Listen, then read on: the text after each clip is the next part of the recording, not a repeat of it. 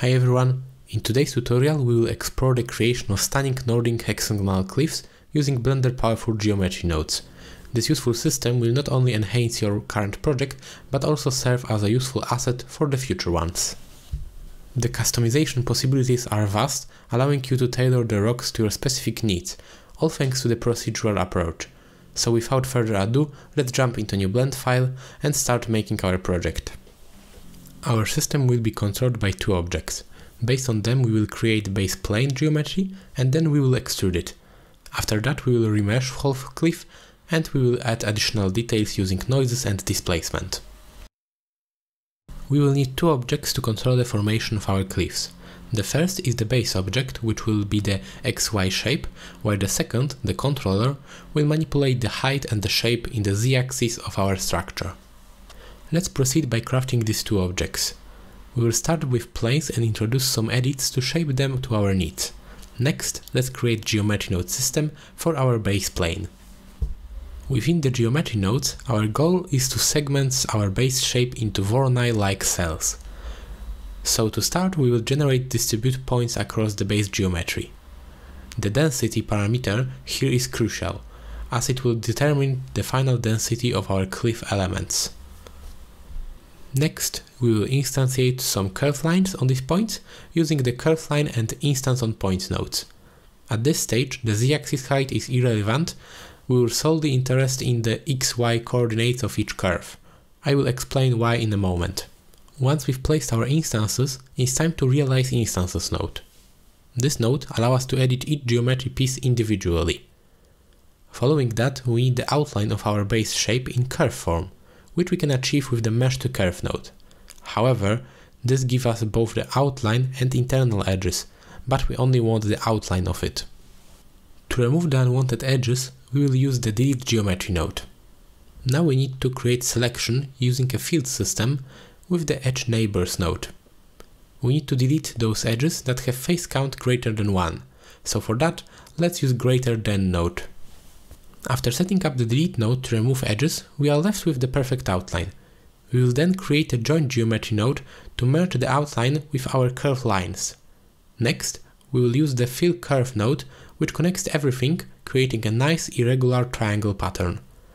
The mesh only is generated flat with a local z of 0, so that is why the height of curve lines doesn't really matter. Finally, to morph our triangles into form more like Voronoi cells, we will utilize the dual mesh node. This transforms each vertex into a face and vice versa, giving us the desired effect. There is a small issue with the cells around the edge of our mesh. They are too stretched out. This happens because we don't have enough points on the edges of our outline. We can fix this by adding resample curve node before the join geometry node, here. This will give us extra points and make the cells look even all over.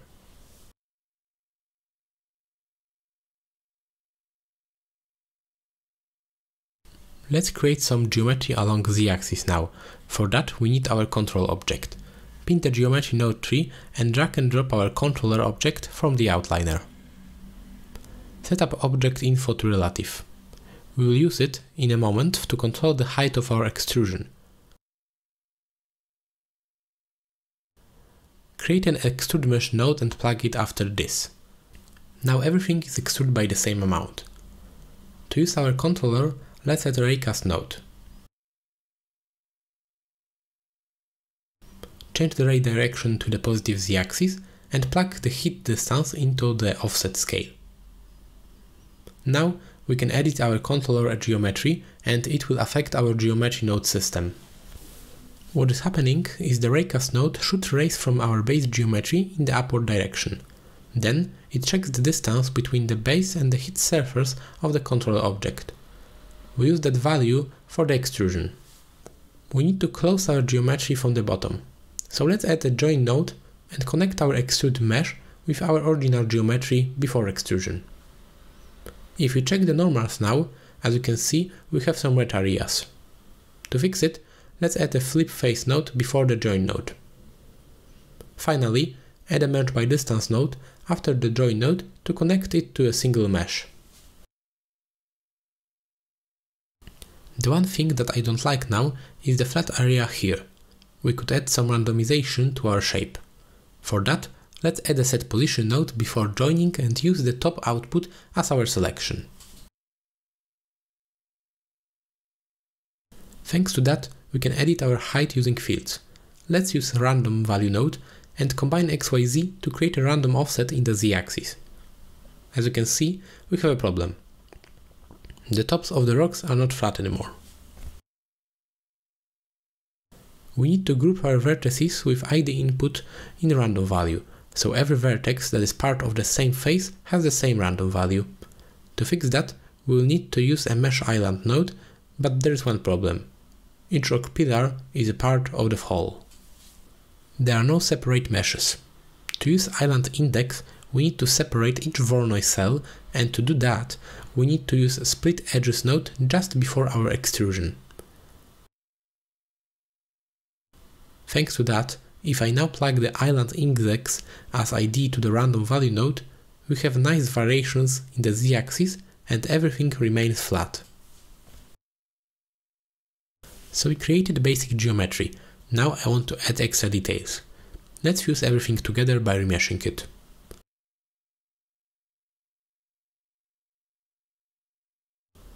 To remesh inside geometry node, first we need to convert our mesh to volume with the mesh to volume node. After that just add the volume to mesh node and you can now adjust the resolution inside the mesh to volume node but don't set it to hide because Blender might become slow or even crash. After a moment, we've converted everything to a single geometry. It looks quite nice, but there are a few problems. First, I don't like these vertical lines all over my geometry, and second, I think the edges are now too smooth. So let's fix both issues at once. I want to reproject our geometry to the original low poly object. We can do this with a set position node. Let's create it and uh, place it after volume to mesh. To reproject our mesh, I will use a geometry proximity node, set on faces. Let's plug the geometry from before remeshing into it. And now we need to mix between the geometry proximity position and the original position. Let's add a mix node and plug it into set position node. Now we can control the intensity of this effect. It looks much better already. So we have a pretty decent effect already, but I would like to add one more layer of details. We will use some displacement to add texture to our rocks. Before that, add a shade smooth node to better preview the results. Then, let's create a set position node, and uh, we want to change our position along the normal direction, so let's add a normal node. We need to scale it, so let's drag from it a vector math scale node. As the scale, we will use the noise texture. By default, the noise texture has a range that goes from 0 to 1, like black and white values. But I would like to move geometry both in and out. So to fix this problem, I will use a map range node to remap our texture from 0 to 1 to minus half to plus half. Let's plug it into our scale node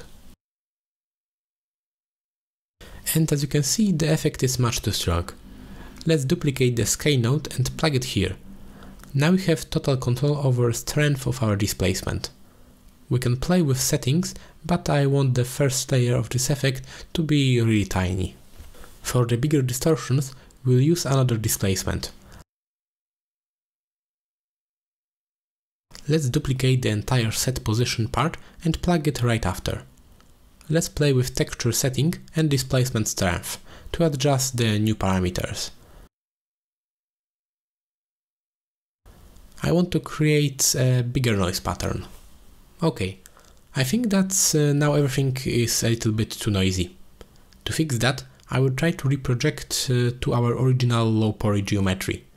But uh, this time, I want to reproject only parts of our mesh based on the noise texture. For that, I will create one more set position node and plug it here at the end. We need to mix between the original position and the current one, so let's add a mix vector math node and connect it to a position node and the output from the geometry proximity from here.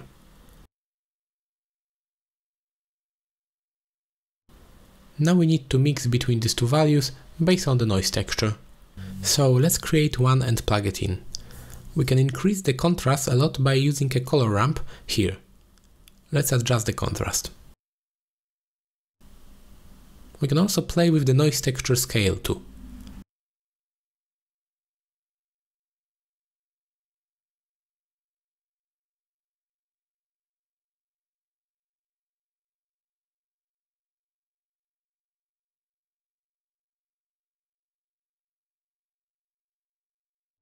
At the end, we can add some materials with a set material node.